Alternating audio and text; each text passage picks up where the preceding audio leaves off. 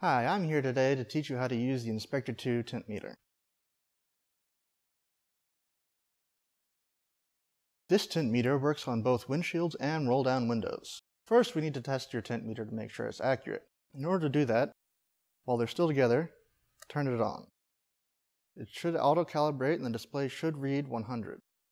After you do that, without turning it off, you take them apart and insert a glass test standard between them. The display should read within plus or minus 2% of the number on the test standard. For example, this one reads 79.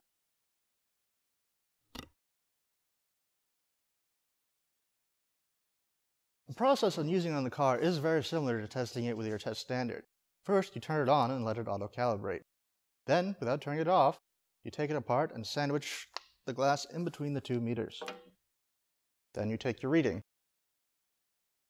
Once you've taken your reading, retrieve your tint meter and turn it off.